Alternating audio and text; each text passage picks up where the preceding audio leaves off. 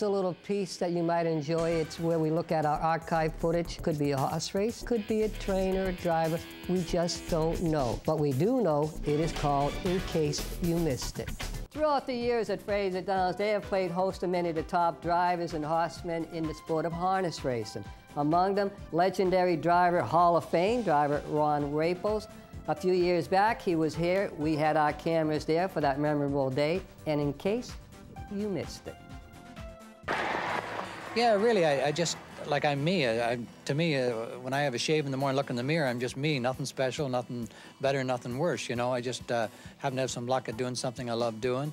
So when the people come out, it's, it's really nice, uh, especially the kids. I mean, they got the best stories in the world.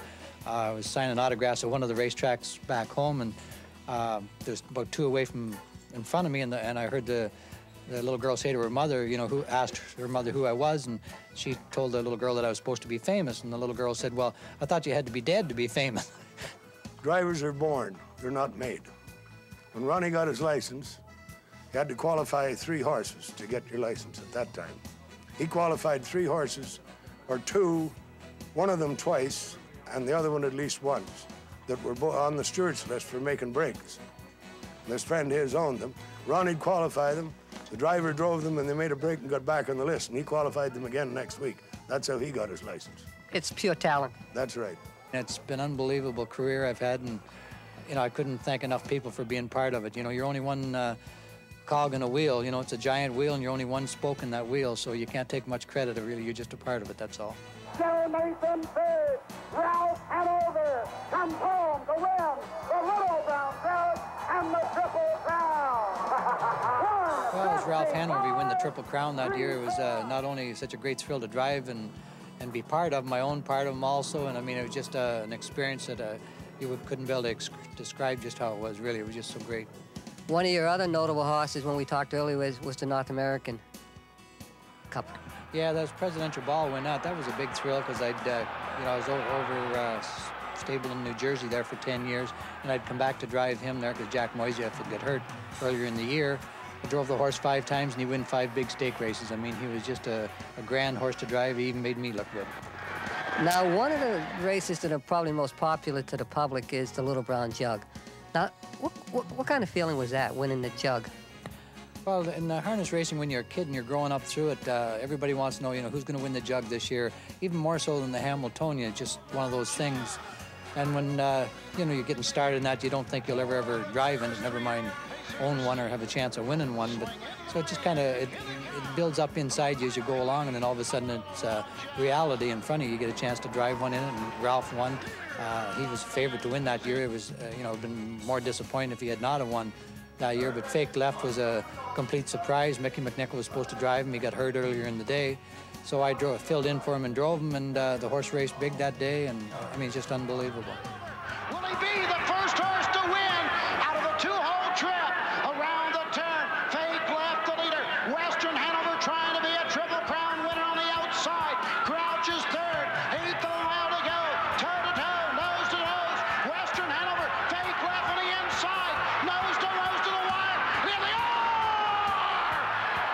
uh, everything just went my way that day. The, the, good Lord must have looked down on me and said, better give this fellow another treat, I guess. And uh, I won that one. So, I mean, just two spectacular days for me. So Fake Left was a pickup drive? Yeah, I did. When I went to the Little Brown Jug that year, I didn't even have a mount. I just went there because I, I like going every year. It's a, a party time, a fun time, and I was just there. I was a victim of circumstances. Ron, when you do win a race like the Jug and Hambletonian, like, is it the equivalent of like winning a Derby where it helps a career?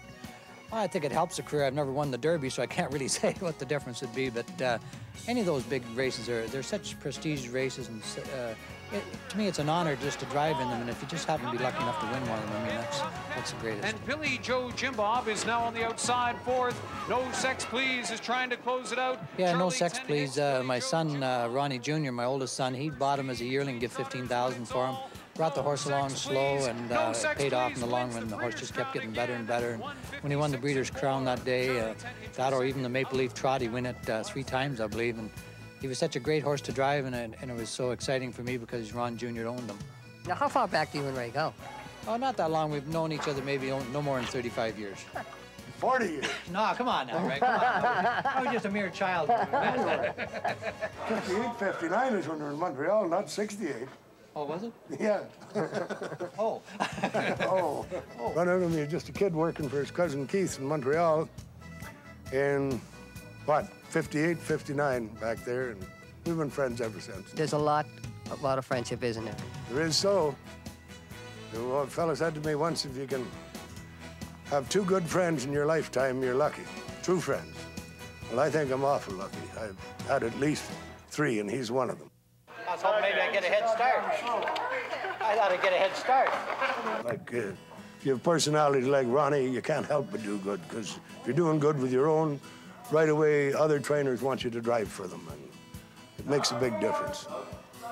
And his personality is burn. I always felt it was about 98% the horse and 2% the driver. Now, whether that's right or wrong, and there's lots of people that dispute that, I guess, but that's the way I always felt about it. I, through the years, I now maybe I don't get as many winners. And I said to somebody the other day, I said I, I never took much credit when all those horses were winning all those years, so I ain't going to take the blame now they're getting beat.